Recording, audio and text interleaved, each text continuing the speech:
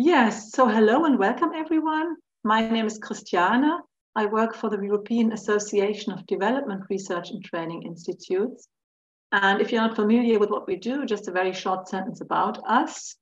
We work to enhance visibility and impact of development studies at large and connect researchers and academics across disciplines and countries on topics related to global development. And uh, I'm very happy to give the floor to Tommaso Ferrando today, who works at the Institute of Development Policy at the University of Antwerp in Belgium, which is one of our members, and who took the initiative to organize the blog series and this event today, which will highlight critical perspectives on debt-based green finance instruments. So the floor over to Tommaso. Thanks, thanks a lot, Christiane. Good afternoon to everyone on uh, on my behalf, and thanks a lot for joining this uh, very interesting, I hope, uh, uh conversation that we hope will uh, have all of you participating uh, towards the end with the question and answer. So, as Christiane said, my name is Tommaso Ferrando, and I work both for the Institute of Development Policy and the Faculty of Law at the University of Antwerp. So the idea of the online meeting today is to get the conversation going around a series of blog posts that have been uh, recently published by, by EADI, the European Association of Development Research and Training Institutes. And I'm really thankful to, uh, to Christiane for, for the work and for the amazing support that uh, she gave us in the last uh, weeks, uh, if not months. Um, the link to the blog posts uh, have been just uh, shared, but probably we can uh, we can share it uh, again.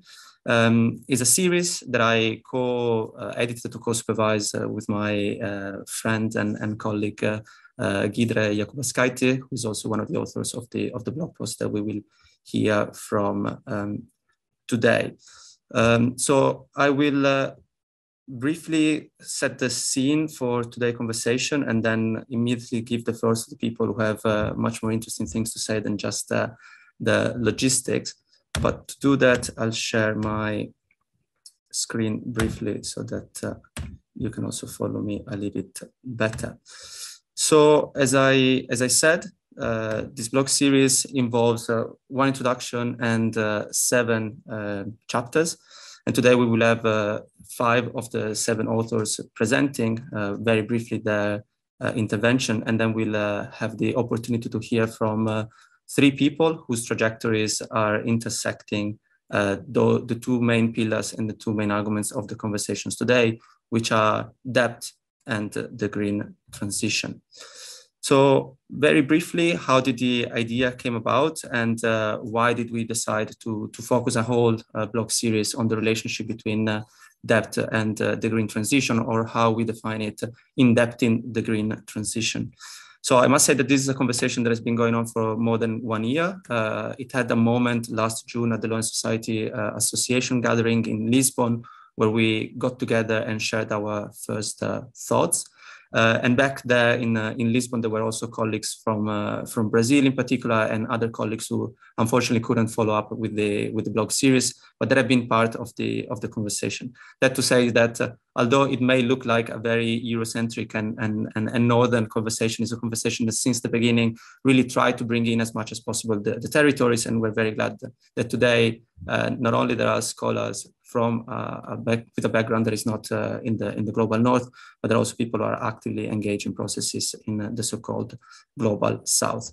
So the idea, the, the main point, and, and really this is what we would like to, to discuss today, and the reason why we, we gathered this meeting is that there is a feeling among us as, as editors of the blog series, but also among the, the authors of the blog post, that the use of debt and, and debt instruments has been increasingly normalized as a tool for the for the green transition, as a, as a tool to, to green the economic system and to support what in, in different places is different, the sustainable transition, the Green Deal, and, and so on and, and so forth. Um, debt is not only present, but is significantly celebrated uh, in policy-oriented uh, literature. Uh, and we will hear about some of these examples but we have an increasing amount of uh, policy oriented, but also academic literature that is talking about green bonds, blue bonds, the next generation EU, all debt schemes in a very positive way. So in, in the framework of this uh, sea of very positive takes on, uh, on debt and debt instruments for the green transition, we thought that not enough uh, attention was paid to both the historical, the present, and the future role of, uh, of debt. So we, together with the authors, we inquired uh, what has not been said or what is uh, often marginalized in terms of speaking about that through the lenses of, of history and understanding how the use of debt today, and in particular that obligation to repay and the obligation to give back both the principal and, and the interest, has been constructing and building racial capitalism throughout the centuries, but is also defining a specific pathway for the future of, uh, of our society. So the three main repercussions uh, that we identified in our introduction that uh, I co-authored with, uh, with Gidre uh, and that are somehow uh, sprouting here and there in the different blogs uh, is really this importance of connecting the analysis of the present and the analysis of the use of debt with the historical patterns of what piling up debt and indebting people and society has been, has been meaning. Um, but also we realize that uh, the use of debt and the use of uh, indebtedness um, is reproducing structure of uh, financial um, economic organization that actually led to the ecological destruction and the breakdown of the social cohesion uh, that somehow are presented as the uh, issues that want to be to be addressed. So we question how the same instruments that brought us here can actually take economy and society and ecology away from, uh, from that.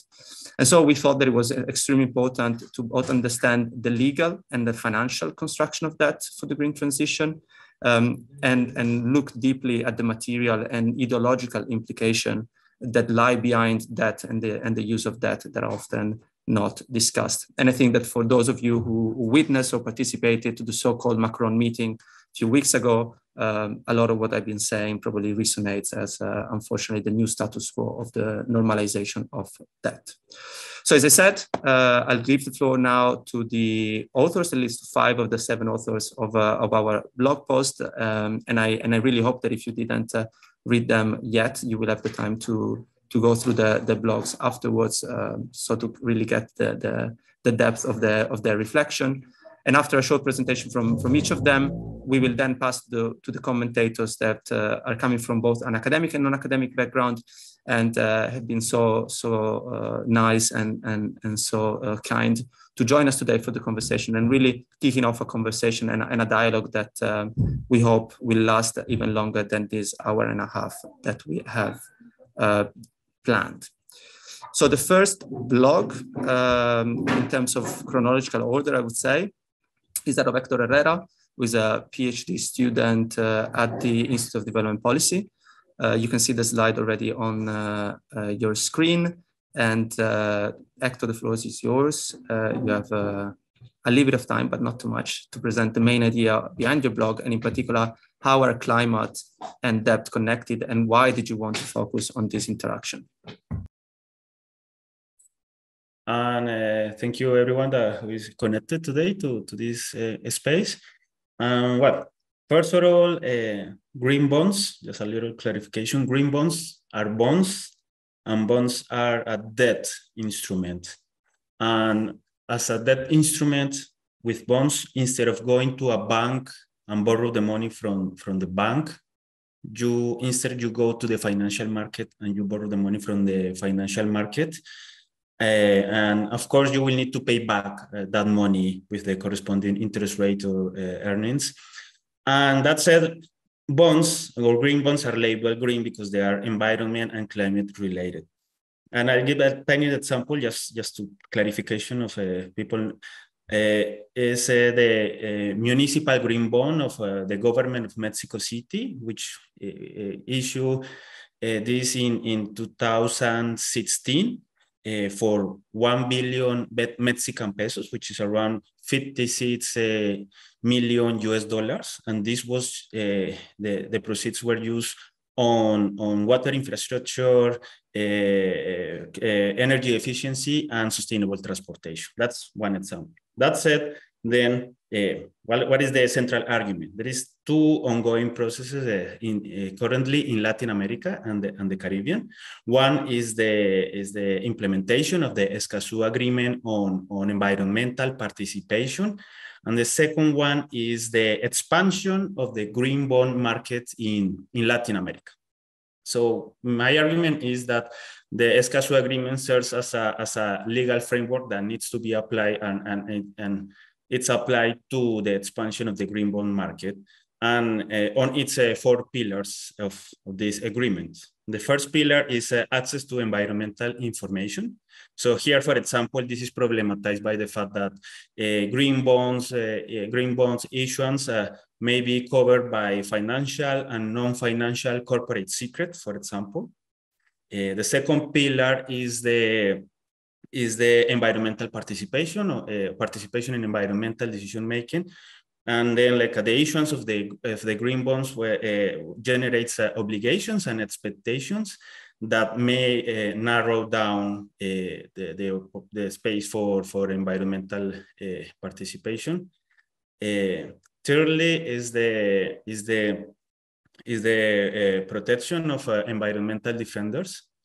And the protection of environmental defenders must be a condition before, prior to to the issuance of green bonds and of course of the implementation of the related uh, projects. Uh, and finally, uh, access to justice on environmental matters. And here, this is problematized. Uh, for example, uh, just one example of, of, many questions that arises is like, uh, if what is the liability of of, of what is the liability of green bonds in the case of like, uh, for example, uh, greenwashing misleads uh, investors of communities and how uh, judges or tribunals may, uh, may analyze or not uh, this possible situation. So, well, all in all, in finance instruments are the projects they finance and and this this is a, the Escazú agreement is a legal a legal framework that needs to be applied. That's that's the relationship. Yeah, thank you.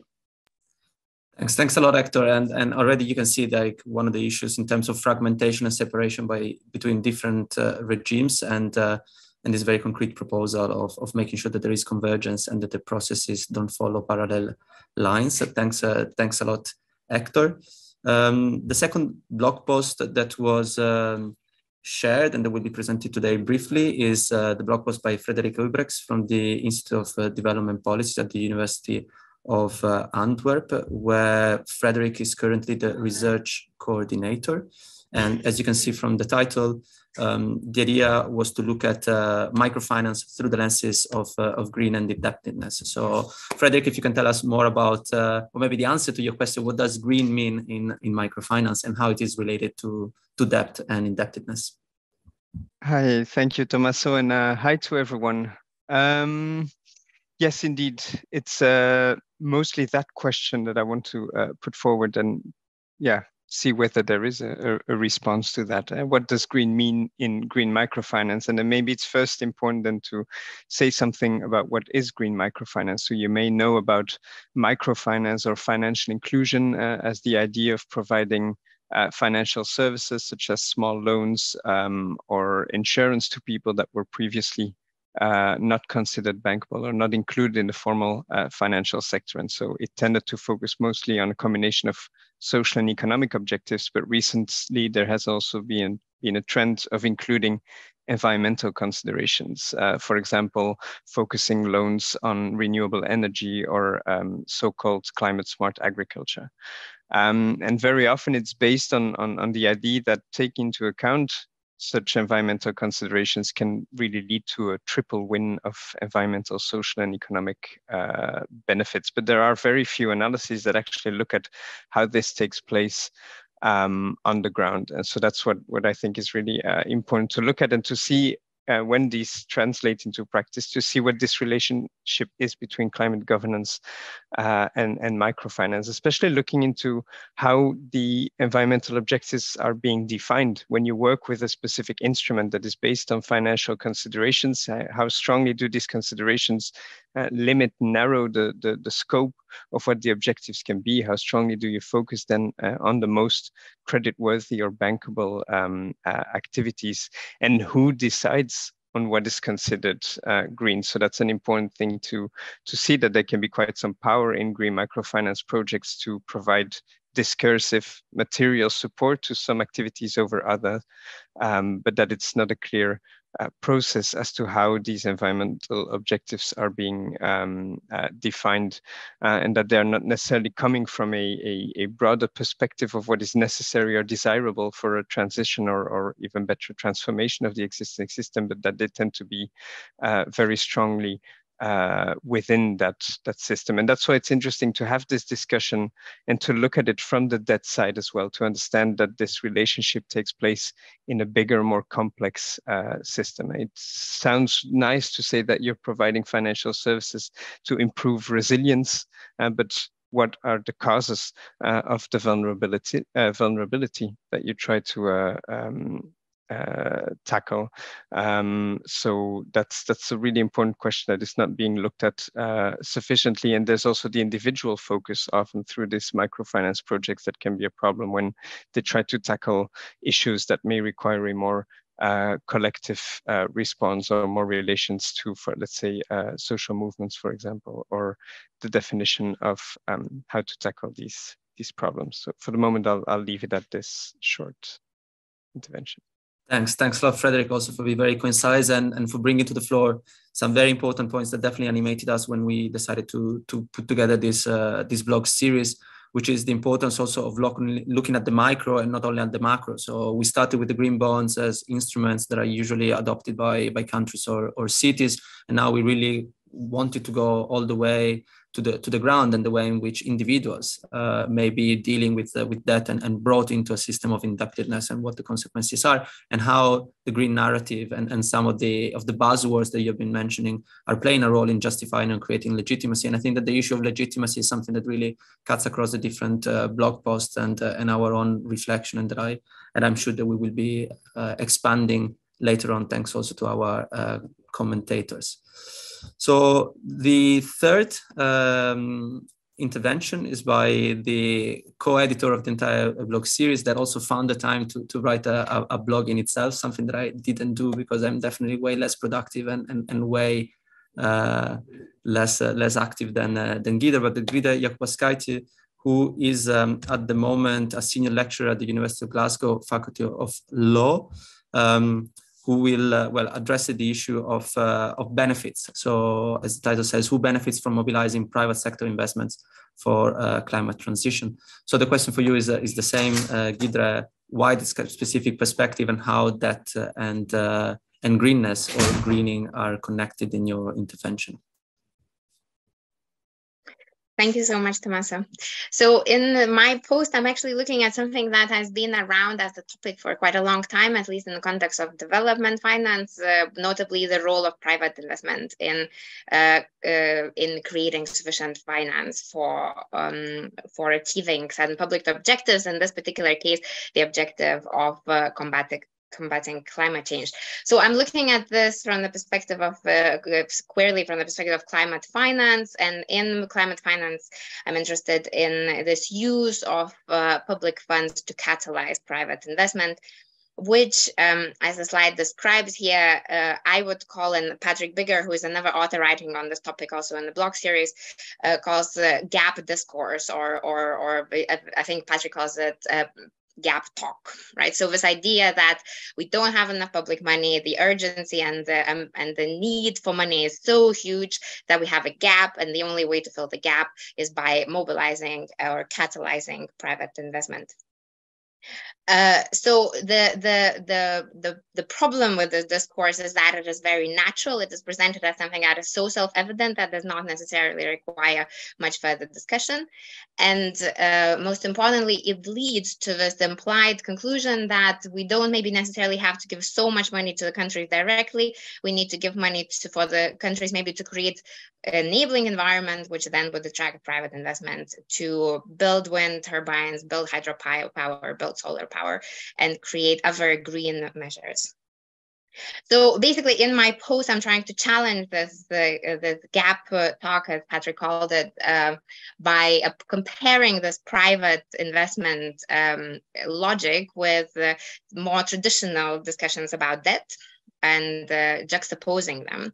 And uh, what I'm doing here then in this post is I'm, I'm outlining some of the things that uh, mirror each other in this private debt context and in the more traditional public debt context. Uh, so what I argue is that in fact, uh, debt and investment are intrinsically inter interconnected to the point where they are just two sides of the same coin. So what we call an investment from the perspective of the global north, from the perspective of the communities living it is actually, or, or the country receiving the investment, it's debt, right? Because debt is effectively a future commitment. And so uh, any investment creates future commitments. And some of the parallels that are listed here in the slide with um, public debt, with the more kind of traditional dirty debt uh, that has become dirty in the public discourse over the last couple of decades, is that private debt still comes with conditionalities, right? So there's no investment that comes with no strings attached. So, so every country accepting private investment will have to accept certain conditions that come with it. Uh, every country that accepts an investment will have to commit to servicing the profit imperative of that investment. So any repayment of that uh, investment will be on the shoulders on the consumers, and that repayment will be larger than if, let's say, the project was funded from the national budget. And finally, there's always conditions of dependence, right? Because every single investment um, requires um, uh, certain resources, but also mostly because of the uh, the, the the conditions also set say in the Paris agreements, uh, countries have to take these uh, these uh, investments because they need technologies, right? And so so there's a certain power imbalance that has not been resolved uh, in private investment as well as in the traditional public debt scenario. So basically, uh, we do not necessarily see the debt in the country's balance sheet, but it's there, it is less visible, and we have a lot less information about it. And that is a serious problem for climate governance, I would argue. So uh, I will leave it there. I will just mention a few of the issues that are, uh, uh, before leaving it there, I'll just mention a few of the issues. So uh, I describe them in more detail in, in, the, in the blog post, but for instance, there is this issue of intergenerational injustice with uh, these private investment schemes, because what they all rely on is on the idea that consumer will pay later. Uh, so it's basically this idea that we don't have to pay now, but our kids will end up paying for these investments for years to come. So climate is already an intergeneral issue, intergenerational issue, and and I I would argue that private sector investment projects make it even more of an intergenerational issue. Uh, it's an issue of common but differentiated responsibilities principle, where effectively the consumers pay rather than the countries that are polluting the most pay for these projects and for these services.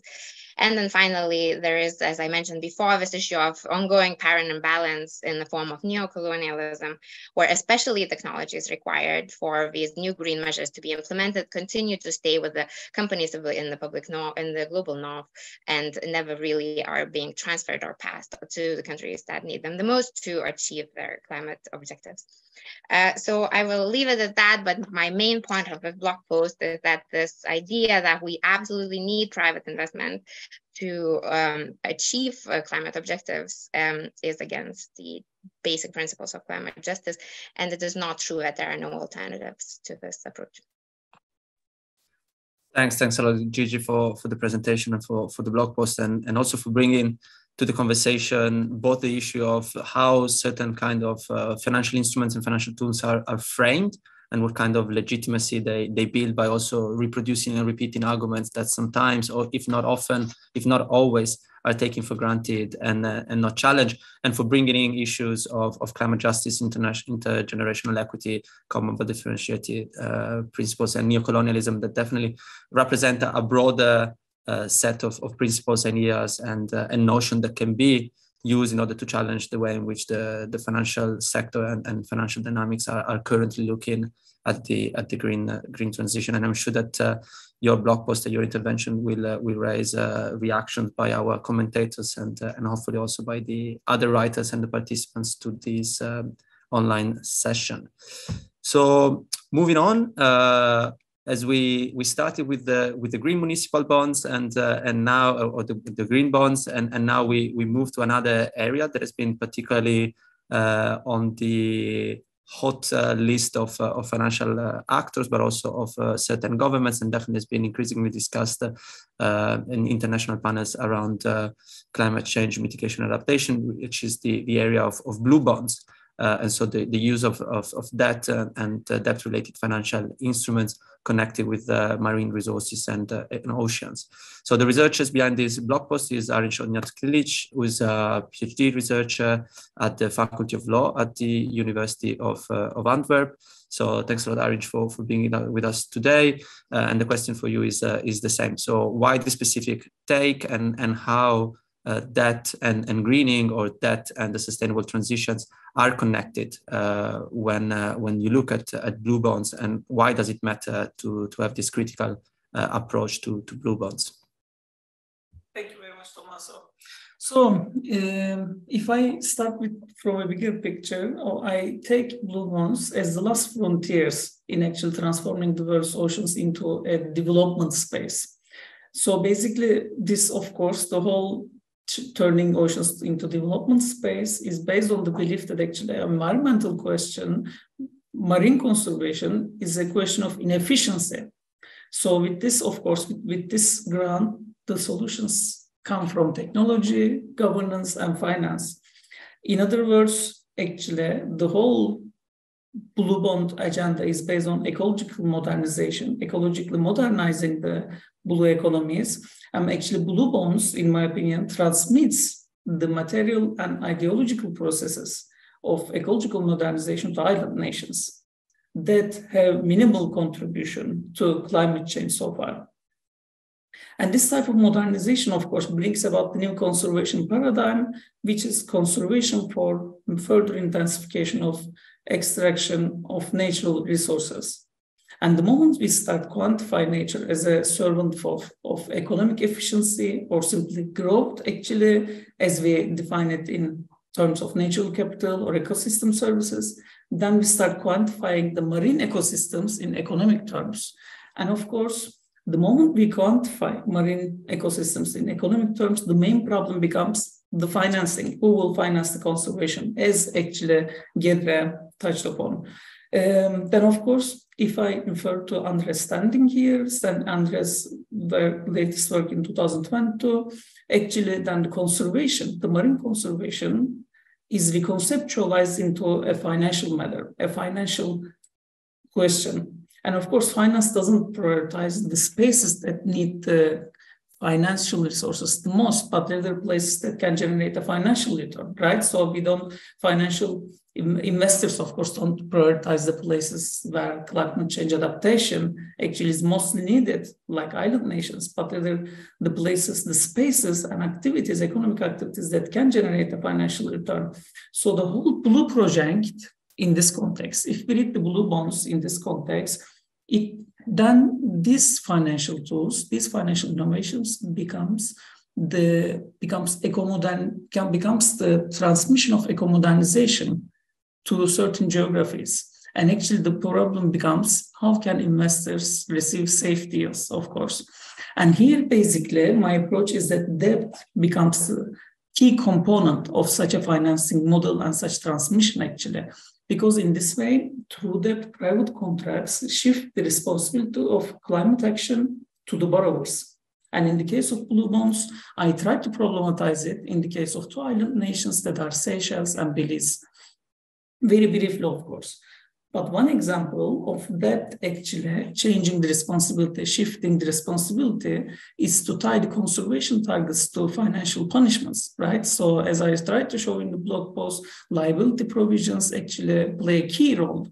Liability provisions connected to that play a key role in shifting this responsibility to borrowers. Um, so basically, while investors actually incorporate safe ESG deals, environmental social governance deals into their portfolios, island nations are left with the burden to meet both the legal agreements in this context, but also have meaningful adaptation outcomes with the limited financial resources they have. Um, of course, this creates a problem, as Jeddah mentioned again, this creates a problem in terms of combat differentiated responsibilities because island nations have minimal contributions to climate change. And actually, if you look at the current global stock take, stock take they are the net sinks for carbon dioxide emissions for actually absorbing. They are the net sinks for absorbing the carbon dioxide that the polluting countries developed countries are polluting. Um, especially coming about financial responsibilities, this point comes important because actually through blue bond contracts, through the private contracts, when we look, island nations don't receive the money only for climate adaptation efforts, but also they are obliged to contribute to mitigation efforts as well. And of course, here the here comes the question of priorities, right? Because if we look at the national determined contributions of island nations, both specifically in Seychelles and, Belize, we see that adaptation efforts are prioritized. And again, in, in our international environmental laws, such as UNFCCC, Paris Agreement, and Convention on Biological Diversity as well, island nations and their adaptation efforts are explicitly recognized and prioritized. So in this context, this depth in, in these private contracts create a tension between our norms, our principles in international environmental law and these financing arrangements. And of course, as a last note, I this is I take this whole picture as actually as an example of pragmatic alliance, right? Because actually, in the absence of financial assistance, in the absence of commitments, or in the absence of commitments by developed countries or private funds as well, then and in the absence of grants, actually grant-based instruments as stipulated in international environmental law instruments, then of course island nations make pragmatic alliances or pragmatic choices with this type of debt instruments. So they basically find pragmatic solutions in the credit markets. If you think one of the as conclusions I got from my fieldwork is that they are fully aware of the consequences. They are fully aware of the injustice aspect of this, this, this type of debt instruments, but they don't have another choice island nations don't have other options than going into credit market and searching for financial resources for their adaptation efforts. So this I can conclude here and we can continue the further questions. Thank you. Thanks, thanks a lot, Arinç. Definitely a lot of very valuable points also raised by you. The dialogue with the with the previous post and uh, with some of the posts that uh, that will be presented later and that have not been uh, that will not be presented today. Definitely, this idea that uh, the choice of the financial tool is uh, is not neutral but has significant material implication at the moment that then the projects are, are implemented. But also they come with uh, specific paradigms and notions that are put in place and, and materialized. And, and, and when you talk about transforming or redefining or rewriting the, the oceans as a financial asset or as an appealing financial asset for the financial sector, I think that we can definitely relate it to uh, many other sectors in, in, which we see finance and in particular debt finance um, operating. Um, but also the issue which uh, which is very valuable when we talk about the green transition or climate transition that you raise uh, when you mentioned that not all uh, projects, not, not all issues are financed, but only those that actually fit into the financial uh, necessities of the of the actors that are providing credit, and and that significantly reinforces uh, what is a, a, shortage of adaptation uh, fundings and adaptation money, but also this idea of, of, of, the pragmatism on the one hand and also the lack of alternatives that link, uh, I would say, also with a sort of historical understanding of how countries got to the point where they are, and definitely debt and indebtedness and international debt have a lot to do with the way in which countries don't really have uh, any other alternative or very few alternatives when it comes to financing the, their transition. Um, and I think that that's a, a, a good uh, uh, connection uh, with the, the final blog post that will be presented today, which is the, the blog by David Rossati, who is an assistant professor of public international law in the transnational legal studies department of the Vrije Universiteit uh, of Amsterdam, the Faculty of, uh, of Law. Um, and David has been uh, working for, for several years on, on issues of, uh, of climate financing. So in, in, uh, in particular, loss and, loss and damage. And so in the, in the blog post, um, looks at uh, the idea of managerialism and, and the idea of like institutionalizing um, institutionalizing was saying like loss and damage through parameter standards and uh, and, and specific uh, frameworks. So David, thanks a lot for, for being here with us today. And the question is always uh, the same. So what is the connection between that and, and climate that you want to highlight in your in your blog post? And why does it matter to have a, have a critical take on uh, what is uh, unfolding before your our eyes? Uh, thanks, Tommaso, for giving me the floor. So in giving this elevator pitch, I will uh, answer quickly to your question that uh, the relationship that is created is one of tending to towards form, forms of injustice uh, in the field of loss and damage. Uh, but uh, my um, my blog post uh, here uh, looks at that in a in a direct way. Uh, in in a way, I got curious not much in the way in which that is somehow regulated, yeah, under the international climate change treaties, but more or less how that is actually indirectly governed by overlooked means of deciding on how uh, the most vulnerable countries should uh, deal with loss and damage uh, on climate change. Uh, so, but what is loss and damage, right? as a concept in international policy, international climate policy is a contested one, but generally uh, it has to do with uh, the idea that uh, there are, of course, slow onset, but also extreme uh, climatic events that are severely uh, impacting the most vulnerable countries and uh, that are impacting them now, uh, but they're also going to impact them uh, increasingly, right, with more, even more frequency in the future. And as an international lawyer, the first time I read about this buzzword, loss and damage, I I thought about compensation, right? So if someone receives a damage, uh, you you're supposed to receive usually compensation under tort law frameworks. But the way it has developed under the international climate change treaties uh, has taken a different direction.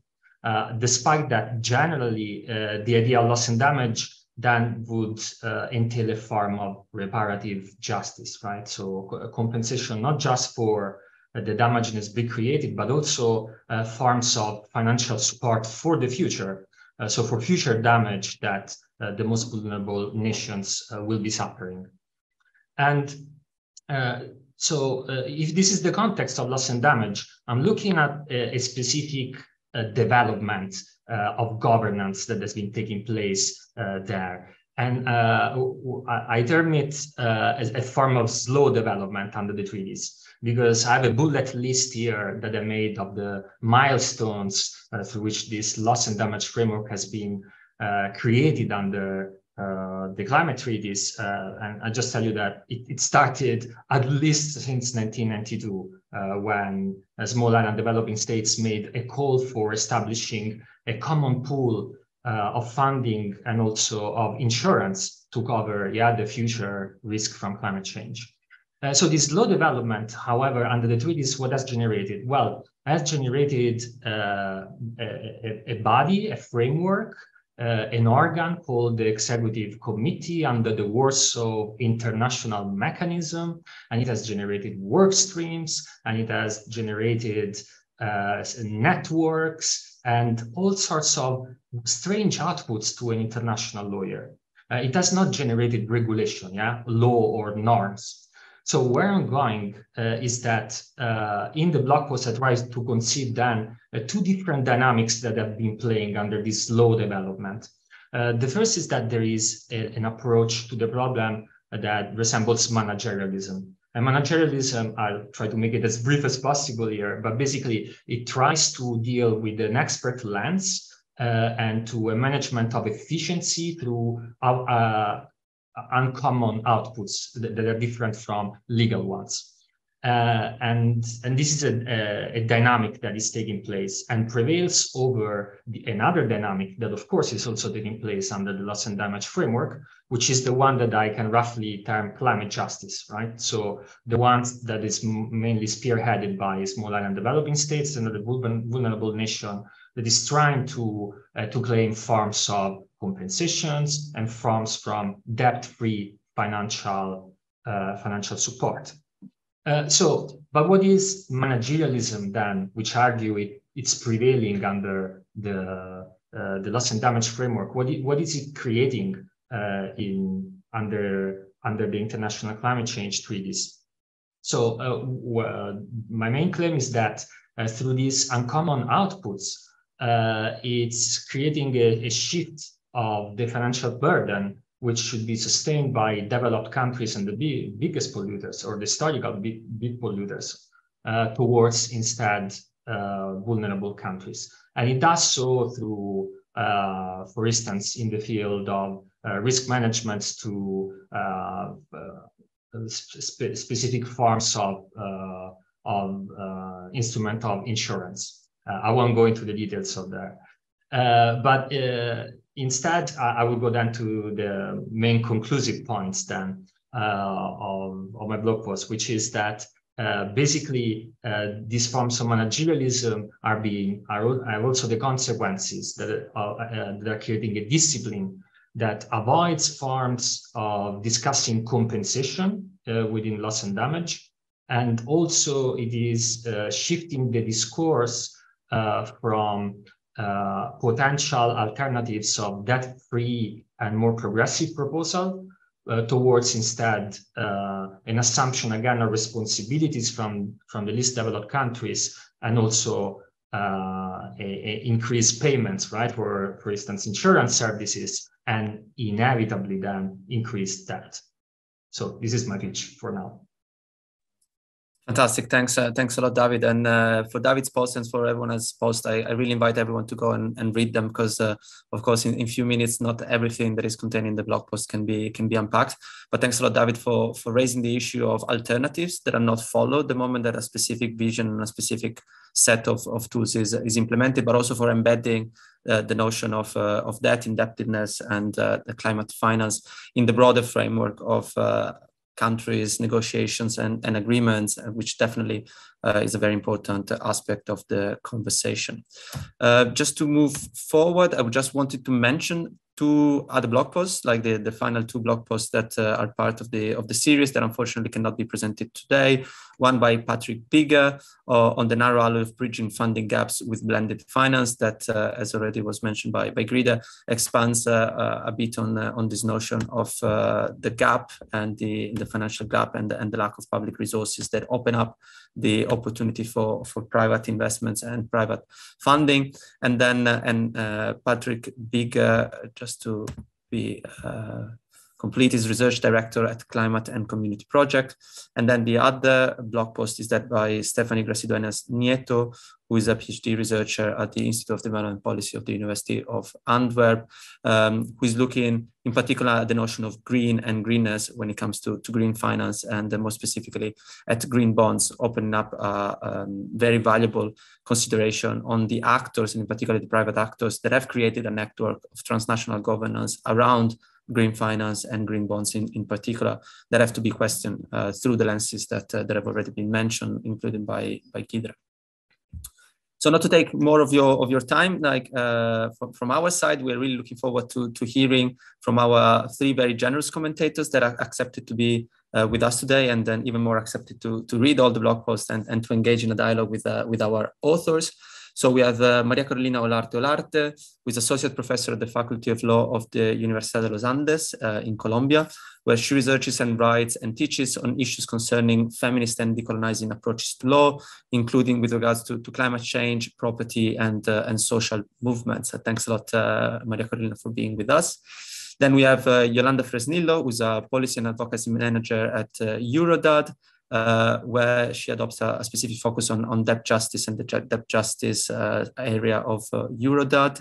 Um, over the last two decades, Yolanda has been closely involved in local, national, and international social movements and has campaigned on development finance, debt, human rights, feminism, environment, peace, trade, and responsible consumption, along with many other things and many other uh, functions that she um, has uh, undertaken in, in, different organizations and even as consultant.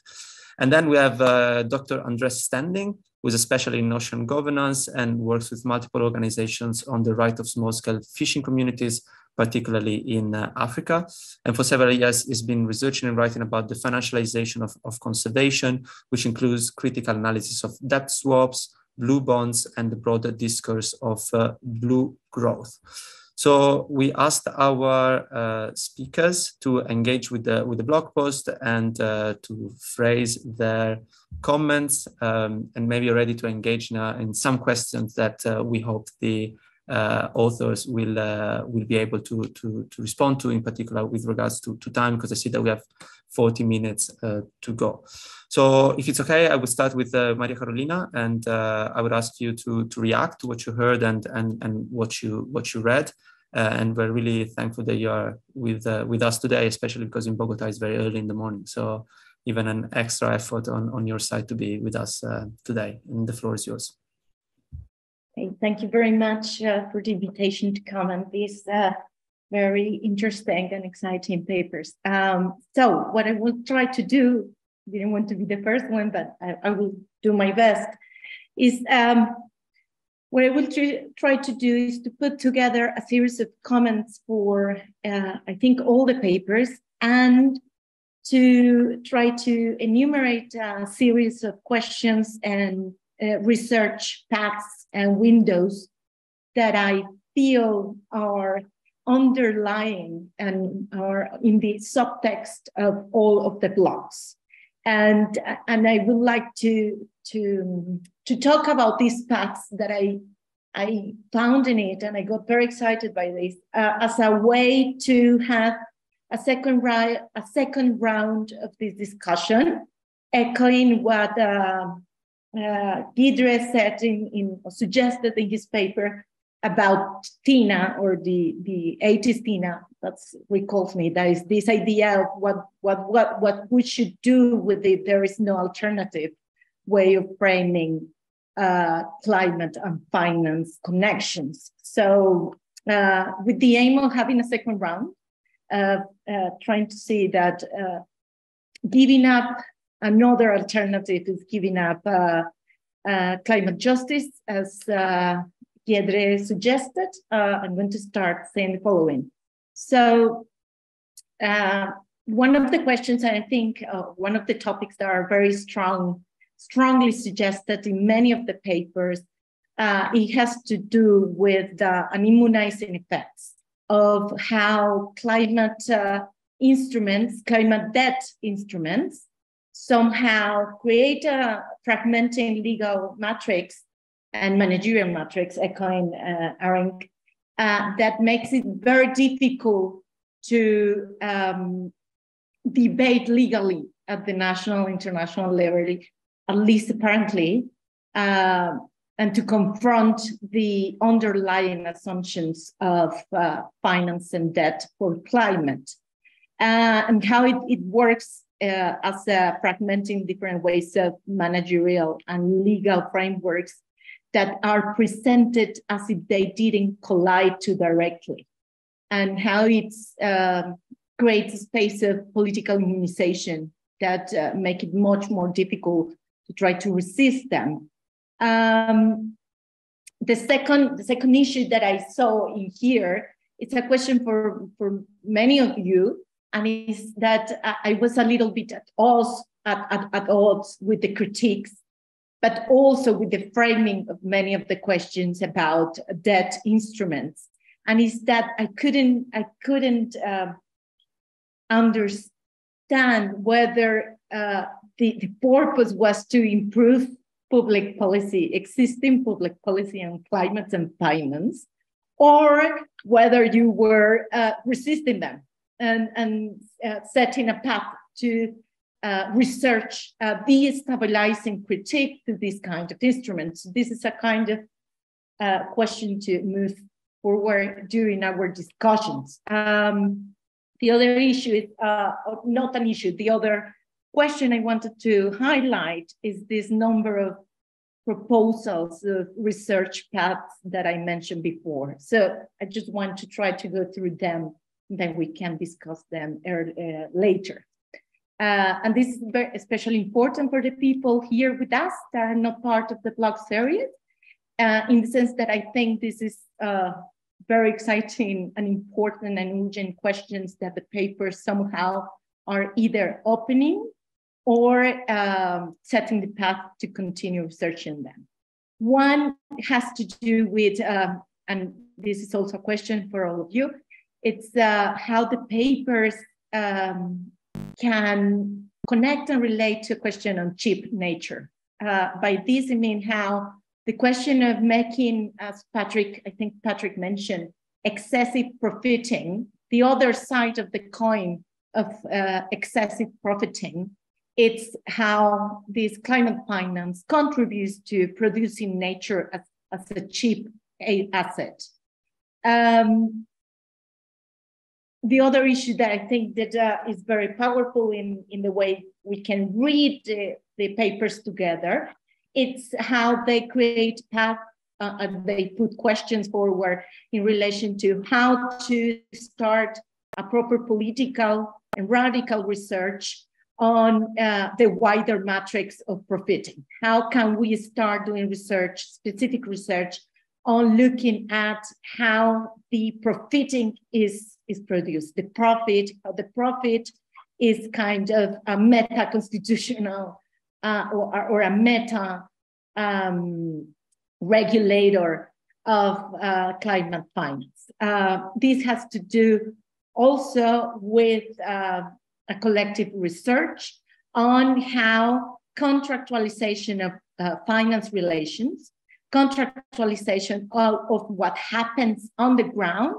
and uh, the, the on questions and assume ideas of infrastructure that comes with private and public alliances on the ground. And by this I mean is how to research this, how we how all of your papers go, or for me, are asking to go into order into these legal forms of contractualizing issues. Um, also, I wanted to to highlight this is I I, I would think about this when reading Frederick uh, Frederick's paper, and it's how I don't know how to say this in English.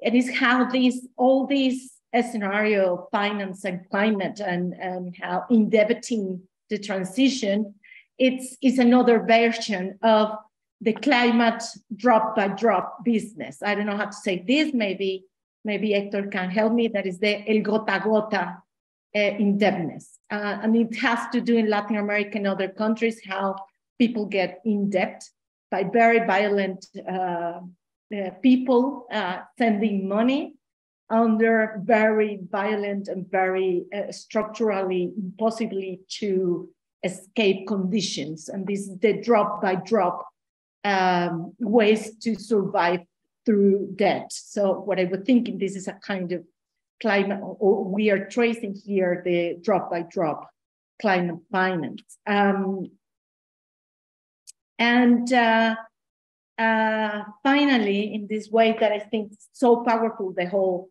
the whole uh, bunch of papers.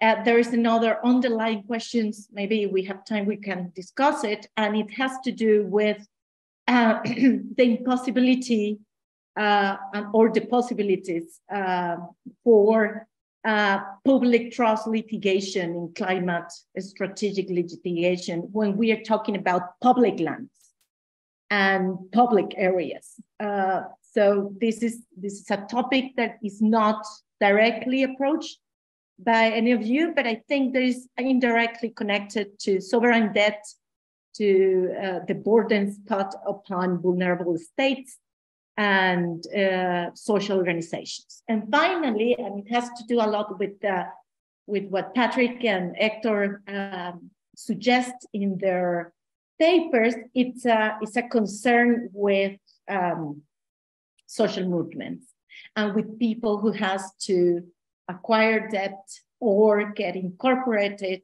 into wider public debt instruments in terms of how finance and for climate and debt for climate deter or, or obscures or turns into an obstacle for collective and communitarian organization.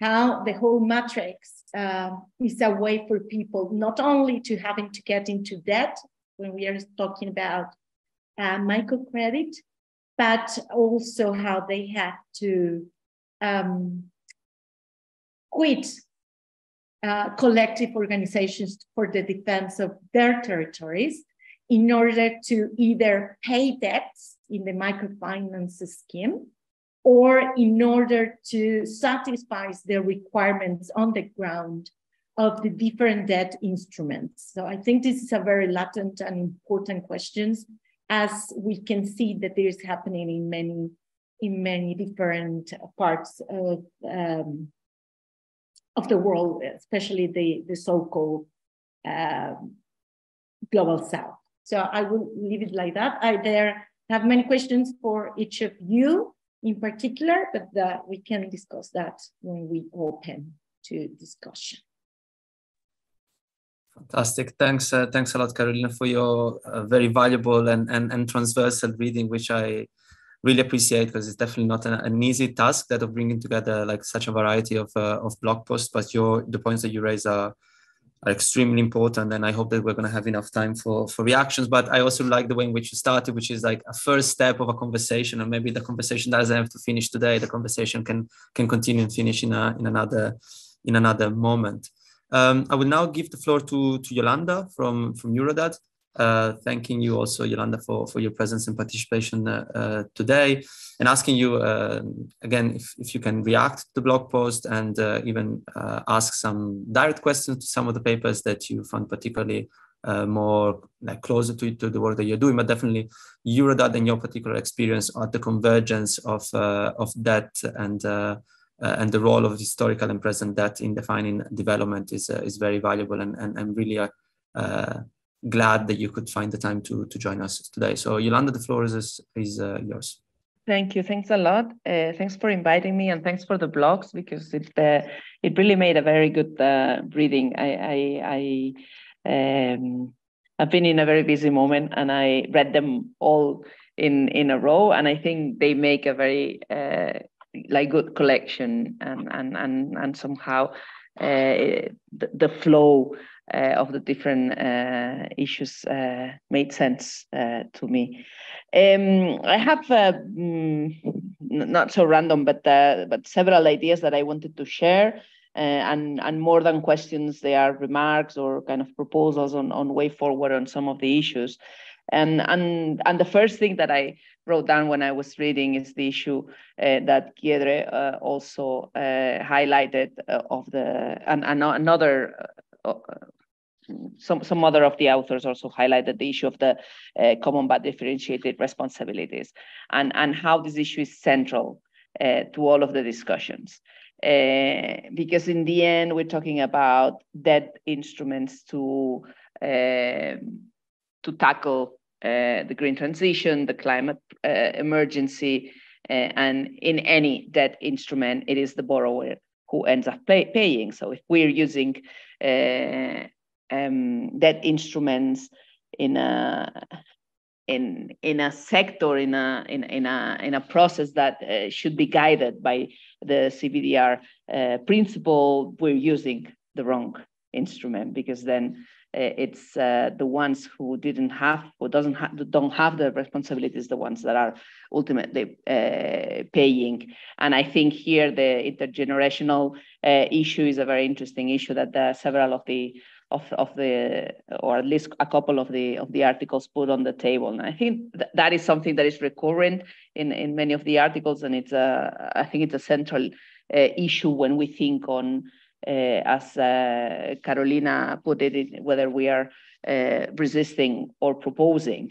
And if we're making proposals in terms of, of policy, uh, if we want to put this principle in the in the forefront of our proposals, uh, then um, the, the way forward is one way. And if we don't, then we can just do small reforms in, in what's going on, and, and that's it the second issue is I, I found the the um, Patrick's uh, sorry that Patrick is not here, but Patrick's article on on the on on the financing gap, uh, which is beyond the financing gap, but the whole argument around the financing gap very interesting, uh, and I I think it, one of the problems. Uh, with this approach of the green transition and the climate emergency uh, from the financing gap uh, perspective is that then the solutions, or it might seem that the solutions can be just met by throwing more money into the problem. And that we probably all know that that is fundamentally uh, untrue. Uh, and that uh, first, if we do not address the origins of this financing gap, so uh, from unequal uh, relations uh, Uh, to uh, uh speculative uh, interest rates, to, to, to, to, the way some of these dependency relations are um, perpetuated, then we are trying to solve the financing gap with widening the financing gap because any uh, lending instrument from the market will have interest rates. So if, if from a start uh, you try to solve uh, an issue of uh, lack of, of financial resources by throwing it in, in it an instrument that will require uh, more financing resources uh, to um, uh, to pay back the debts. There's a there's a blind spot there. Obviously, the answer to this blind stop spot with the issue of growth, but then we have the redistribution issue and who is really getting the the um, the, the, the, profits, the benefits of this uh, of, of the of the economic growth that these investments might might produce. Um, and then the third big element, and then I'll go into the, into uh, some more concrete things, is uh, something that is also present in several of the articles, which is the role of the private sector, uh, and and and and this idea that what is being imposed uh, and what is uh, the, the, the, the, main way forward uh, presented by international financial institutions, multilateral development banks, think tanks, and uh, etc., is this de-risking uh, trend that uh, kind of institutionalizes what the civil society has been criticizing for decades, this uh, public losses versus private profits uh, principle. Uh, and, and, and, and also, and I think something that I found a little bit missing in the in the articles is how we can learn more lessons from the general development finance experience in uh, bringing uh, the private sector in uh, through public-private partnerships in public in public uh, services like health, education, and other infrastructures, uh, and and how wrong it has gone uh, in terms of both increasing indebtedness but also failed uh, results in terms of public services delivery, quality public services access, increase in taxes and fees, etc., etc. Uh, so I think there is a, a, lot we can learn to demystify this private sector role in climate and, and, and, green transition from the experience on, on development finance in the past couple of decades. Uh, a few more concrete things. Uh, uh, I think the there are two articles: the the the micro microfinance, the green microfinance one, and uh, I can't find the other one. Uh, that focus on the definition of what is green. I think that is an, a, a, a key element, uh, and I find the the the, the, propo- the propositive part on, on, on that a little bit missing. Uh, we know there is a, a problem with uh, how taxonomy is defined, uh, how evaluations are being made, uh, who defines or not defines uh, what green means, uh, the, the, the, the blurb definition, but also the, the lack of accountability and transparency, but no proposals in terms of should we have a, I don't know, global uh, institution defining what is green? Uh, should this be a, a, discussion within the UNFCCC? Uh, should we have, um, sorry, a, a, regulation that not only um, defines what green bonds, so what what means for a bond to be green, but also in terms of, of, of public finance. Uh, there was this uh, report that Reuters uh, uh published uh, not long ago about how uh, World Bank loans and, and, and projects labeled as climate didn't have anything to do with climate. So I, I don't know, an agreed public uh, taxonomy uh, on, on green uh, maybe could be a way forward, but I don't know. I mean, I think there is a discussion there that is missing on how we solve this problem of the greenwashing uh, issue. Is it with uh, more regulation? Uh, is it because uh, probably with uh, with the elimination of the financial markets, we won't solve the problem because we we, uh, we will even have the the World Bank doing their own thing. Um, and and sort of linked to that, I I, I like the uh, the article on on the Escazú agreement and uh, and the municipal bond because it it raises a lot of the specific problems that that we find when we enter into uh, into this uh, green bonds business uh, for municipal, regional, national bond issuance. Um, and the issue of or the question uh, for me, uh, sorry, for, for the author and, and, and for the rest of the group, again, li linking on, on what is the way forward would be um, is an agreement like Escazú that is basically a voluntary agreement. So investors decide whether to engage or, or, or not. There is no way of um, enforcing it, uh, the way forward, uh, or can we think of more binding approaches? Civil society has been putting on the table for quite a long time, uh, more than a decade now, uh, proposals on binding responsible lending and borrowing principles. We even have a charter on responsible lending and borrowing principles that, uh, approved by the UN at UNCTAD, uh, not being implemented and, uh, and, and, and uh, disregarded by uh, everyone.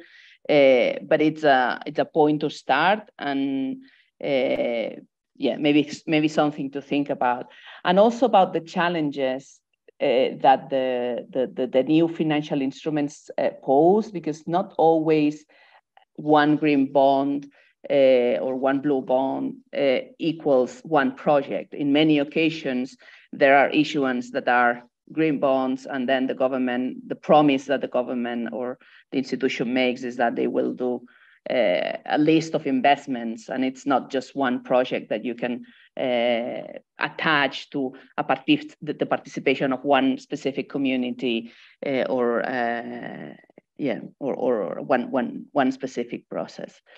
Um, two, two more things. One is uh, the, um, the link between the micro and the macro. Uh, I have to say that I, when when I when I uh, uh read the the uh, microfinance green microfinancing uh, article, it's very it's quite far away from what I work, but I always think about what is the link between this and, and what I do. And working on on more general debt issues. Uh, from a feminist perspective, we found that in, in many countries, for instance, in Argentina or in Bolivia, something that was happening is that when the government is over indebted and uh, they start uh, applying uh, austerity measures and cutting on public services, that uh, makes families go more into personal uh, and, and, and micro uh, debts to be able to access certain basic services not only housing, which is most, mo the most obvious one, but also education or even uh, health, uh, and how this public debt is uh, linked uh, to this to the to the uh, so, the, so how public debt and austerity are creating a market for microfinancing by cutting on public services. I don't know if you follow that. And, and from a feminist perspective, that is very strong because uh, it's normally women that are um, targeted uh, for this uh, microfinancing. And I was wondering if something similar could be thought in, in, in, in the issue of, uh, of, of, green microfinancing and thinking about how, for instance, uh, when the like uh, macro uh, green bonds target macro investments and macro projects that do not uh, deliver on results for communities, communities have to invent uh, um, entrepreneurship uh, projects uh, to be able to have access, for instance, to cheap renewable er energies. And here is where the microfinance might come in, but it's by the, ma the macro failing covering those needs. And uh, one last comment is on, on the issue of, uh, of, of, loss and damage. Uh, I think the, the, and, and I'm linking with the, with the beginning of my intervention, how uh, with loss and damage is where the issue of uh, common but uh, differentiated responsibilities is more burning Uh, and how the debt instruments are uh, less uh, appropriate for, for, for this. Sorry if I, I went too long, but I'll leave it there. No, thanks, thanks a lot, Yolanda, and and and and, and sorry that I was just you know thinking about the the continuation. I, I think that you you kind of really uh, gave us such a such a valuable and thorough and attentive reading of, of all the blog posts and connecting the dots. Like despite a very heavy and uh, and uh, and busy agenda that you that you have, and, and I'm, I'm sure that individual authors will love to to get back to you and uh, and and and have this conversation. And I think that if today can be also a moment for for proposing this possibility of more partnership between academia and, and non-academic institutions and really working together i think that that would be a massive uh, success of this uh, of this first attempt of establishing a, a, a, network that really wants to go beyond uh, beyond today and hopefully will uh, will just uh, get bigger and bigger with more articles more papers reacting to what you were raising what uh, carolina was raising and, and, other thoughts that i'm sure that people that people have. In the interest of time i will go to andre and then after uh, Andre's uh, intervention, we will open the floor uh, in, uh, to anyone who wants to raise uh, questions or who wants to, to make some, some comments. And then we will try to have a, a sort of wrap up final final moment with uh, with the authors that have been that have been speaking. But as I said, it's just the first moment of a series of conversation that we hope to have. Andre, thanks also to you for for being here. Really looking forward to to yeah. hear your, your intervention. Well, yeah, no, great. Um, I echo what the previous respondents say about, you know, really enjoying all the papers. I thought they were excellent. Um, and this is clearly a massive subject, and we've already, you know, opened up the debate a lot. And I know the time is, you know, escaping us. So I'm going to try and keep it quite short so we can have some discussion. And I just, uh, a lot of the points I was going to make have already been made before. So I was thinking, coming at it from a slightly different perspective. Um, my background um, as I've worked a lot with uh, coastal communities in Africa, um, probably about 15 years on kind of localized projects. And what, what we found about 2014, things changed in the conservation world quite profoundly. You know, the type of presentations that coastal communities were getting around blue growth and the blue economy, they, they became more and more dominated by financial people um, and the conservation NGOs who dominate this, particularly from the US and, and Europe, you know, the people who they're employing, it changed. There were people who you were saying, well, you know, who is this person coming up in a suit and these beautiful PDF presentations? Um, and you look up their kind of backgrounds and you find that they've been working at Goldman Sachs or McKinsey Company Consulting.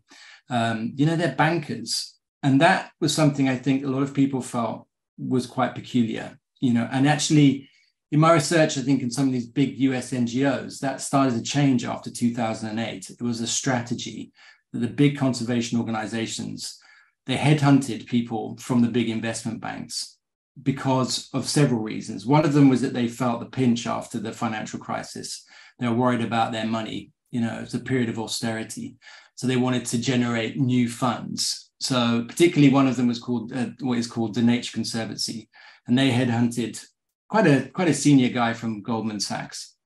And so those people came into those organizations and financialized them. They, they changed the culture, their strategies, and they started to, you know, form greater partnerships with um, financial institutions. Whereas I think in the previous decade or two decades, those conservation organizations were having partnerships with multinational companies involved in production of goods and goods and services, such as you know Coca-Cola or some of the big industrial agricultural um, companies.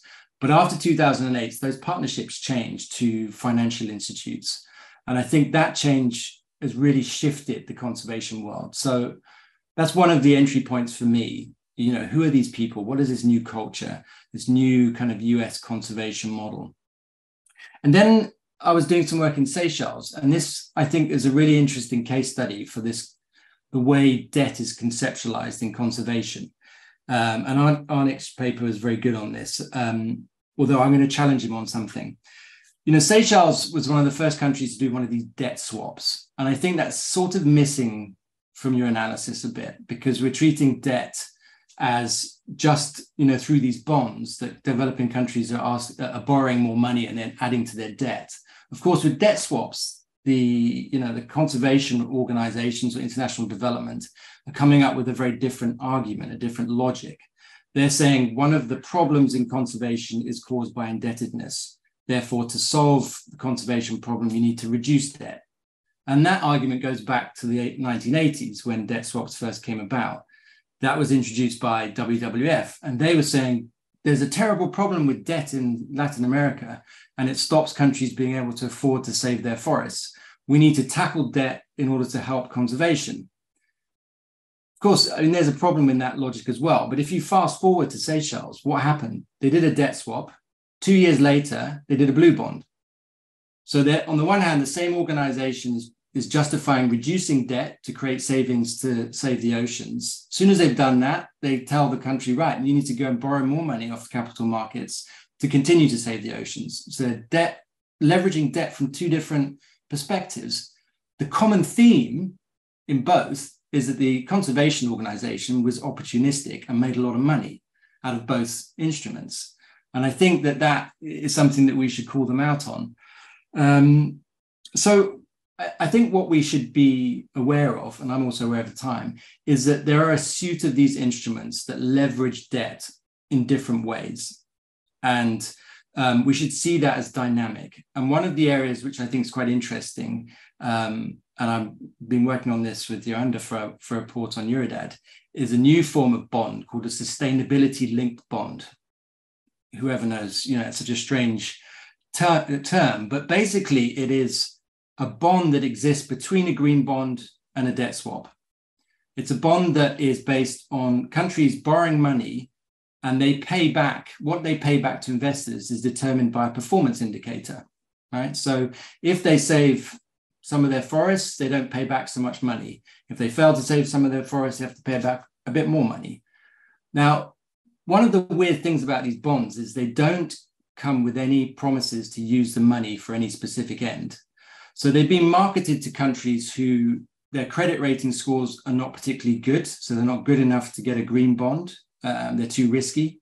They're not quite as bad as some countries in needing a debt swap, but they can raise this money with some performance indicators, and then they can use a bit of that money to refinance bad debt.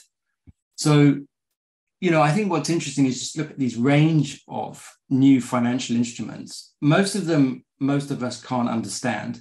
And I think that is really important to remember. You know, when you're talking uh, or doing publications which you hope to influence um, a wide range of civil society organizations, coastal communities, forest groups. People are completely confused by these things. They're bamboozled by the jargon. And there's a real responsibility for people who are researching this to be able to explain it in plain English. Um, so we can get through all this financial jargon.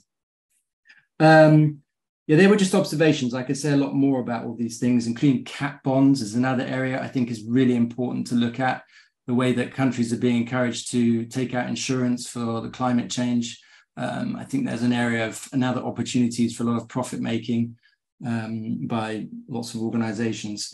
I want to also end with coming back to this funding gap issue. And I think it's a burning issue that um, all the, the, the previous two respondents raised. Um, it's not that it's more important than the other issues, but I think there's something quite unresolved about that. And I would look at it in, in, in several different ways. I think one of the key criticisms we've already heard is this idea that there isn't enough money to save the planet um, coming from public resources. So, we, by logic, we have to turn to private capital markets to bridge this gap. Um, and a lot of people are saying, well, no, that's not true. We don't have to turn to private financial markets as we can generate this money through other means. uh, all sorts of uh, ways of rede- redirecting resources, you know, taxing uh, higher, what you know, on wealth, um, carbon tax, for instance. So there's that argument saying, well, you don't have to have private finance; you can do it through public finance. But I think there's a third criticism of the funding gap, um, and it's really it becomes obvious when you come at this from a conservation perspective, particularly in the oceans or forestry. And that's when you look at and you read these gap talk reports, which there are so many, clearly their estimates of what the gap is are bonkers. They're just made up. Um, you know, they say, ah, oh, you need um, $800 billion in order to save nature being spent every year. And you think, oh, that's a lot of money. And you think, well, where did you get that figure from? And you look at the reports underlining them, and they're just made up. And they're made up by organizations that are in the business of raising funds and spending funds. And I think we have to be a bit cynical about this. Um, no one is really scrutinizing them. In the oceans, I think the annual funding gap has been something like 500 million or something, I can't remember. But it's nonsense. It's just, it's based on the value of carbon trading markets, how much it costs to um, reduce subsidies in fisheries, just random figures that someone puts together. And what I want to make the point of is if you, you know, from a perspective of what works in terms of creating sustainable communities around fisheries and forestry, you know, kind of restoring the commons, if you like, that literature very rarely comes to conclusion that it's about money. You know, obviously, it's a range of issues around politics, the way people interact with resources, um, you know, addressing corruption, um, the abuse of uh, industrial companies and extractive industries. And the very idea that this is solved by money is, of course, you know, is very peculiar. And it's not how most academic literature would approach this. But yet, when we come to these big meetings, so many people just nod their head when there's a funding gap, or they say, no, it should come from public sources. I think we should be doing more to, to kind of challenge that narrative and say it's not a funding gap, it's a political gap. Yeah, you know, there's other problems here. Um, so I think that's, you did raise that. I just encourage us all to kind of maybe interrogate the financing gap because clearly there are things that need more money. I don't want to simplify it and say it's not about money. I just think we should be, you know, interrogate it a lot more closely, uh, unpack it. I think that's my final comment. But again, thanks to everyone for amazing papers and a really interesting discussion. And I echo the point that it's would really welcome this to be a beginning of a conversation and collaboration. Cheers. Fantastic. Thanks, thanks, Andrea, also for for pushing us to to to go beyond and uh, and for proposing a, a, different reading or alternative reading to to one of the main points that, uh, definitely has been characterizing a lot of the of the blog post. And uh, and personally, I've been learning a lot from all the presentations and and even more, I would say, from the from the reactions that uh, Carolina, Yolanda, and, and, and have been have been sharing with us. And, and I really look forward to to continuing the conversation.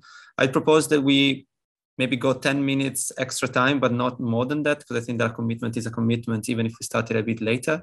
So I would open up the floor to anyone who has a, a question. I think that you can uh, raise your, your hands.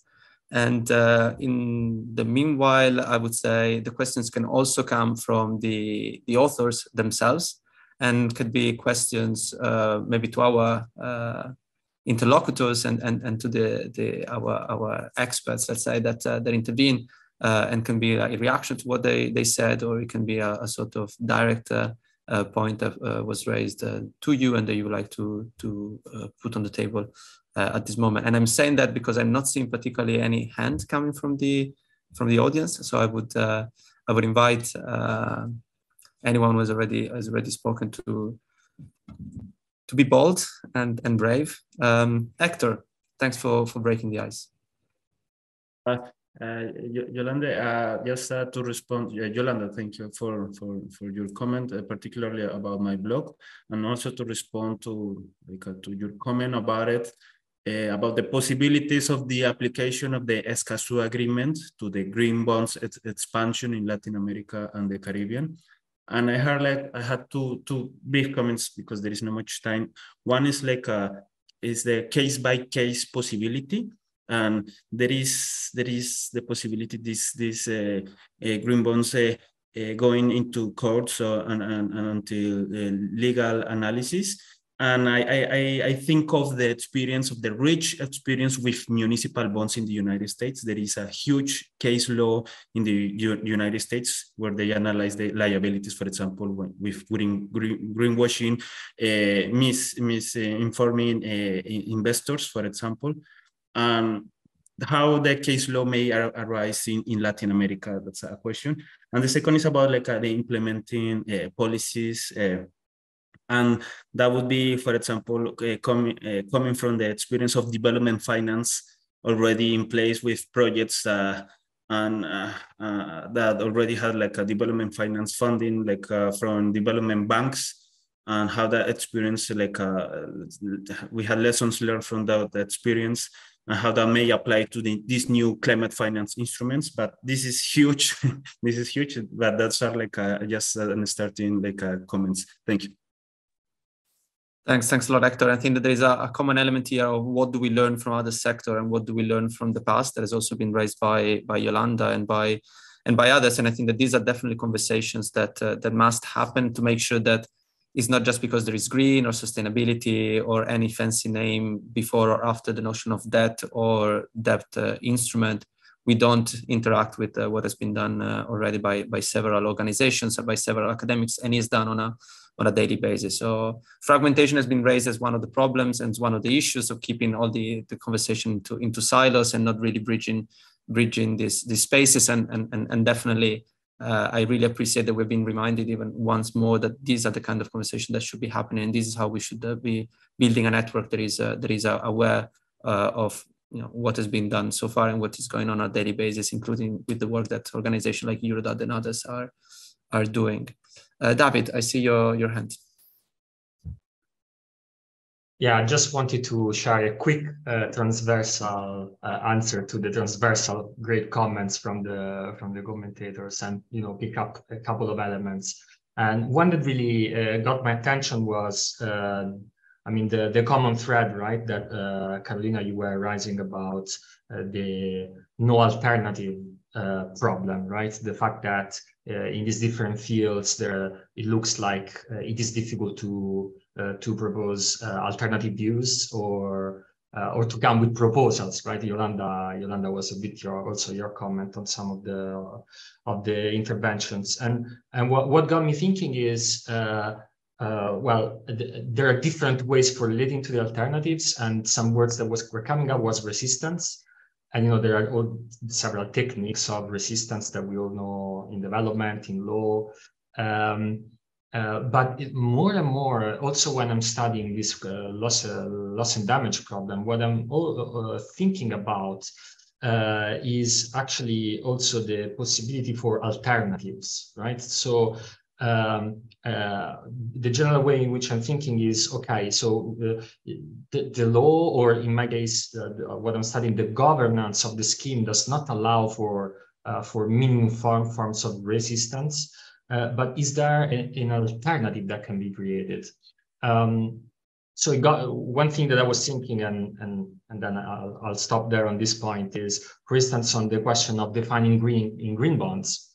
Uh, I am not seeing around, but by uh, this, this might be limited to my understanding, an alternative green bond standard developed out there that could be promoted uh, that, that would be a, way more rigorous than the, the current standards and, and taxonomies uh, out there. But I might be wrong here, so I'm really curious to hear maybe if it's alternative alternatives are being are being created. And then uh, to give a very quick uh, flash uh, uh reaction to the to Yolanda's take on loss and damage CBDR and the burning question as uh, as if the, the, to the question if there can be um, uh, legal actions yeah taken with regards to loss and damage. the answer is generally yes. It is actually happening in a direct way in international law where as some of you might know, uh, small island developing states have been pushing at the UN General Assembly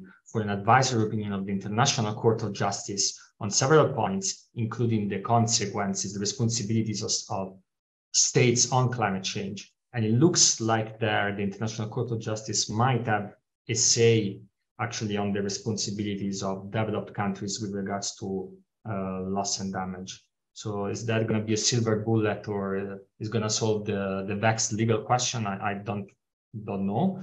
Uh, but certainly uh, that's an example of a pathway because yeah, law can work right through different means at different scales. Thanks, thanks a lot, David, and uh, and definitely let's see what International Court of Justice is uh, is going to be saying. So I see three hands, so I will definitely get there. But there are also two questions that I'm going to put uh, on the table for for anyone to to react. Uh, and then I think the two questions, the three hands, and then a reaction, and then uh, maybe we we can close because otherwise we can definitely continue uh, for for way longer. So there is a question by Hari Prasad who is directed to to Andre, but I think that it may also apply to, to Orange, because I know that uh, the line of investigation is very similar, um, is that uh, the question goes uh, saying that um, uh, Andre mentioned the necessity of interrogating the funding gap in conservation uh, and wonders if there are other aspects of debt for nature swaps that have not been researched enough. So, what are the critical takes on debt for nature swaps should be at the center of, uh, of investigation and academic research, but also would say of uh, this interaction with uh, non-academic actors. And then we have Bram, who's raising a, a, a, very important question. Uh, also, the other one and all the other questions are important um, on the more public side of the story. So, when we think about debt that is contracted not uh, by private actors, but debt that is contracted by public actors. Um, and so the question goes, uh, does what we've been discussing, what you've been discussing also reflects with the ongoing conversations on uh, on sovereign debt and the broader uh, notion or the broader the link with the broader notion of colonial, ecological, and, and, climate debt, and to what extent are we also talking and discussing debt cancellation and is debt cancellation coming to the to the floor when uh, when you engage with your um, reflections. And then I we go to Farwa, who hasn't uh, intervened yet from Eurodad. Thanks a lot, Farwa, for, for joining us. And then uh, Carolina, and then Gidre, and then I will just give a possibility to anyone to, to intervene up to a certain moment. So Farwa, if you want to go first. Yeah, sorry, just wondering if if you want to answer the two questions first, or should I just go now? I think I'll collect all the questions and, and then I'll, I'll open up to, to, to answers to anyone who wants to answer, because otherwise it's going to definitely go way longer than uh, than expected. Yeah. Okay. Well, thanks a lot for this. This is very interesting, and um, actually, it it also brushes upon a lot of things that we're doing at Eurodad with Yolanda, but also with Andre. One question or reflection that I had was on the role of developing countries and um, so-called emerging markets, uh, BRICS themselves, and their participation in the whole greening of instruments. So uh, on the one hand, you see that there is a strong demand for reparations. There is a very interesting role of credit rating agencies in this, but at the same time, these are countries who are also issuing bonds. So this contradiction is quite interesting if we consider that there is elements of uh, multipolarity, um, no matter how we define it, and an increasing role for developing countries in having a say on the role of private finance. So we see that with the Bridgetown, but also with this demand for a green bank um, by Kenya's uh, prime minister uh, at the Macron summit. And I think this has to be um, reflected upon more closely because uh, whilst these countries are the recipients of the, the, the worst impacts of climate change, and there is this element of choicelessness within the global financial architecture, but at the same time, they are also issuing these debts. So how do you, A, rationalize it, and then how do you we, we just talked about the idea of resistance. How do you see resistance coming from that? And I think it's not a it's not an easy uh, approach, but I think this has to be integrated somehow in a lot of um, upcoming research. I just wanted to mention that. Thanks. Thanks, thanks a lot, Farwa. Definitely much appreciated, and and, and pushing forward uh, even more our our argument, and definitely more and more reasons to also reflect what has been happening in Paris uh, a couple of weeks ago, and and how all of that uh, kind of connect and, and and poses new questions and new challenges also to the underlying reflection. Um, Carolina. Thank you very much. Well, I just wanted to reply uh, to some of the, the comments that have been made before. I'm going to connect them. The first one is, I don't know, maybe I was not clear enough in my English. When I was echoing the idea of Tina, of Tina, you know, the, the, there is no alternative uh, in the way it was used in the 80s. is not to affirm that there is such that we are in such a position. It's about how do we research uh, how we come in the first place to believe that there is no alternative. So I'm here closest to closer to to Andre in terms of let's look at how this bongus or made up way of looking at uh, um, the needed finance to overcome um, climate borders uh, was made up in the first place.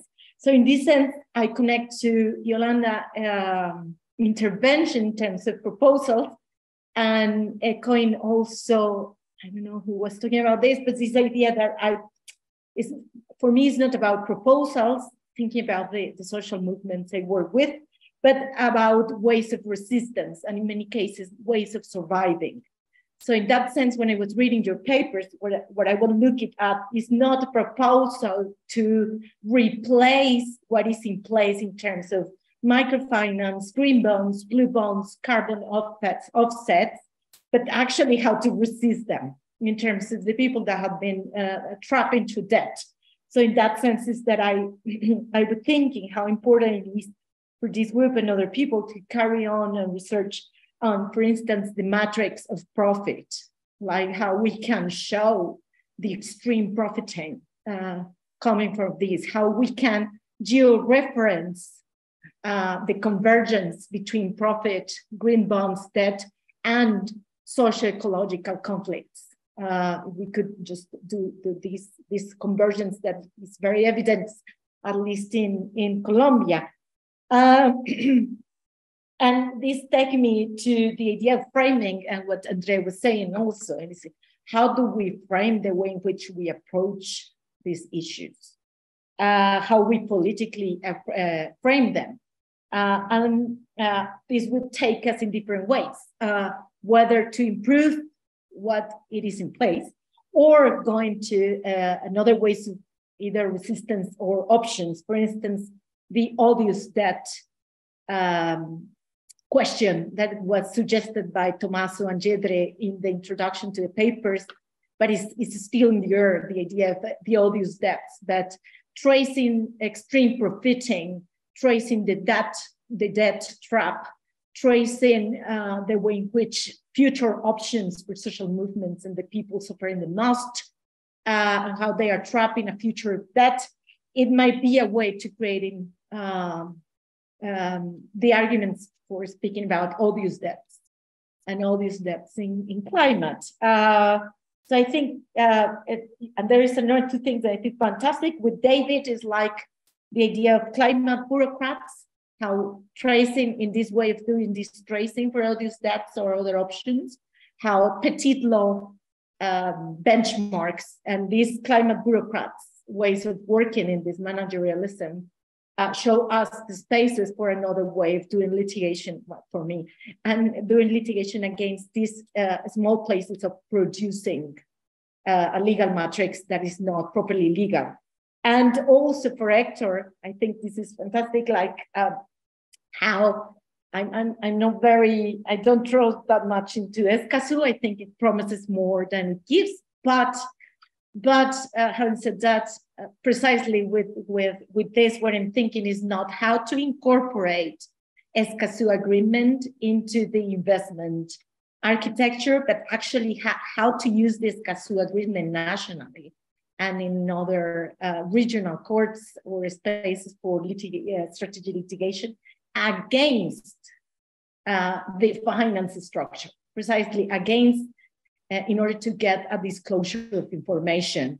Because otherwise, and this is a question for you, Hector, otherwise for me, it's risky. If we incorporate it, if, if the framing is incorporating Escazú agreement into the um, green finance architecture, we might risk ending up financializing Escazú. And that would be like uh, going, going in the other way. So that's what I want to say, just to trying to collect and to, to talk about more about ways of resistance rather than proposal for improving. Thank you. Your papers were fantastic.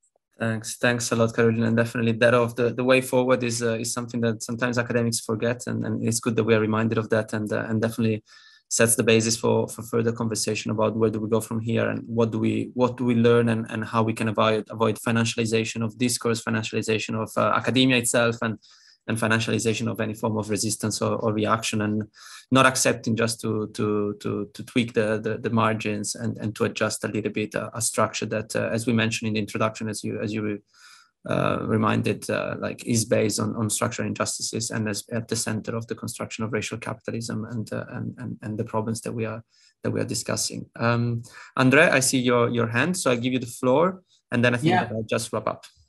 Yeah, I know I had a, well, I had a couple of questions. Um, before I do, I think one area that's interesting to look at um, is the legal clauses that are in these contracts for the bond um, prospectus, not the, the bond contracts with investors increasingly these come with a provision that um, the money might not be used for green things and you can't sue us. So um, there's quite a, that's kind of normal now. And uh, i had to look at some of those sovereign contracts and they mostly always contain that.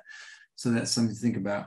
Um, I also think that there are lots of human rights laws um, and Escazú and Aarhus Convention that would be very useful for adv advocacy around the abuse of uh, transparency and public participation on green bonds and debt swaps. I think that's not something that should be dismissed. You know, a lot of these instruments are being finalized without uh, public consultation. Um, and that's a fairly low hanging fruit, I think, for advocacy to, to nail them. Then the question of is there any research on on these debt swaps um, that hasn't been done, and that's a very you know specific technical issue, and I think there are lots and what it comes down to, I think, a lot of the time is the painstaking research to follow the money and the people involved. Um, and there has been some really interesting research, and I've contributed to some of it, where you start realizing how much profit intermediaries are making in these deals. Um, and just putting it down on paper, it kind of shames them and it does cast these financial instruments in a different light.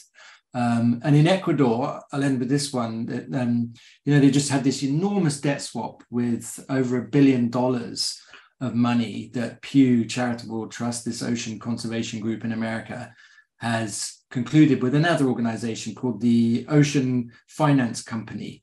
And they're on all of these press releases. The Ocean Finance Company has, you know, refinanced debt of Ecuador and is now in control of a new multi-stakeholder fund in Ecuador. And who, who is Ocean Finance Company? And it's basically a new startup set up by a South, Af- uh, South African whose history is in the mining industry. And if you look at where he's come from and what he's doing, how much money they're making out of this deal, and the fact that this organization is now sitting in Ecuador for the next 20 years, determining how millions of dollars are going to be spent to supposedly help coastal fishing communities. They have zero history of anything to do with marine. Um, and I think, you know, we, as much as it does, it's very important to conceptualize these things at a, a theoretical level, at a macro level. I think researchers, we should be following the money, you know, really investigating some of these deals. My very last point, I think we should compare these debt swaps with what's happened with in Cap, Cap Verde with Portugal, um, which is like a kind of conditional debt forgiveness. I see problems in that as well, but it's quite a lot more appealing than what's happening um, in other countries. And I think that, uh, well, I'm actually writing a little blog post on that now and I'll share it with you. Sorry, I've took too long. Fantastic. No, that that's that's great. Thanks, thanks a lot, Andrea, both for the indication that there is more thoughts coming forward uh, uh, in, in the future, uh, but also for this idea of looking concretely at cases. And I think that that's also something that academics can do in order to actively be engaged and supportive of what movements and organizations are, are doing, which is less at the at the macro, like sort of metaphysical level, but much more concrete in the in the real life and the, the way in which these financial instruments and financial dynamics create indebtedness on one hand, but they create profit and, and accumulation of, uh, of value on the on the other hand. I see Yolanda hand end. And with Yolanda, I think that uh, we can close, uh, and then I'll, I'll try to wrap up. Thanks, thanks a lot, Yolanda, again. For thank you. It's it's just a very quick reaction uh, to what Andrew was just saying because I I really agree with what he was saying. There need there's need to follow the money and and do more research on what is really going on in this. But uh, linking with with my question on on on proposals beyond resisting is the the idea of having a, a statutory approach to all uh, those financial instruments because the problem is that at the moment they are regulated by these contracts and these clauses and they can do whatever if they put it in the clause.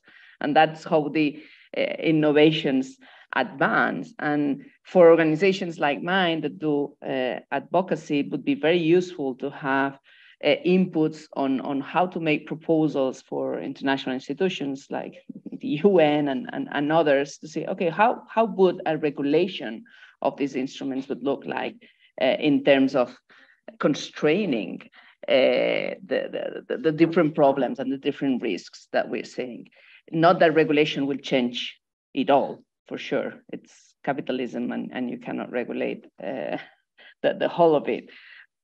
But at least reflecting on how we can advance in, in, in making it more difficult for them doing whatever they want and making money uh, and, and, and, and, and taking uh, sovereignty of, of countries like the case of, of Ecuador.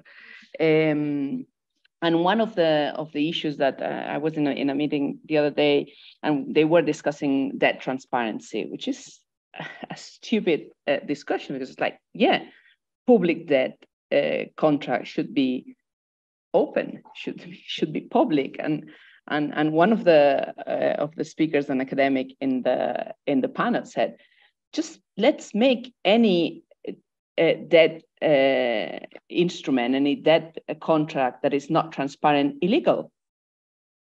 It's as simple as that. You you cannot uh, reclaim the money back if if you're not uh, being compliant with transparency laws.